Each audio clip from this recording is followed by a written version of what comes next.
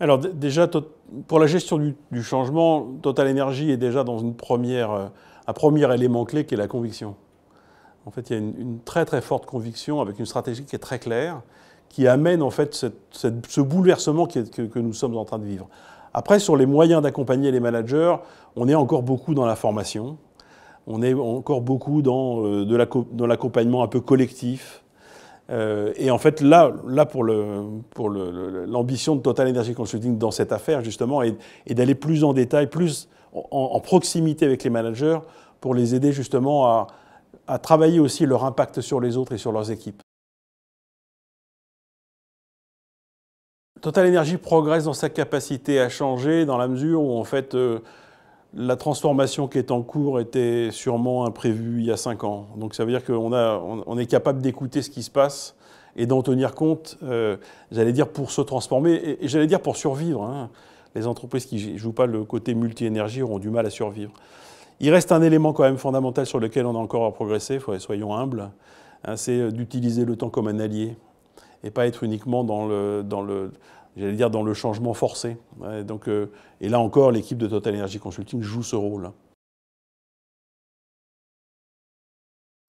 Euh, ce qui caractérise Total Energy sur le thème du changement, c'est sûrement, et c'est sûrement lié à la puissance financière, hein, c'est la capacité à très rapidement changer d'activité et à très rapidement être en situation de se repositionner. Euh,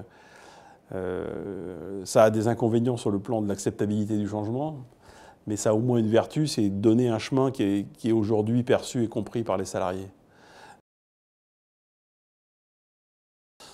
Euh, pour progresser en matière de gestion du changement, en fait, on, mon sentiment c'est aujourd'hui qu'on devrait sûrement encore prioriser tous les sujets qui sont à traiter et utiliser le temps comme un allié pour un certain nombre d'entre eux. Ne pas être dans la situation où on veut faire tout tout de suite, ce qui crée énormément de, de stress dans les équipes. Donc cette partie-là est encore à faire.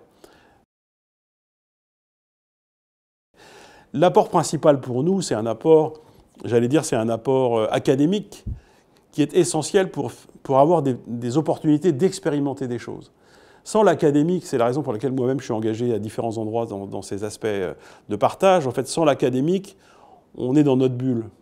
On a besoin en fait d'une ouverture sur les autres.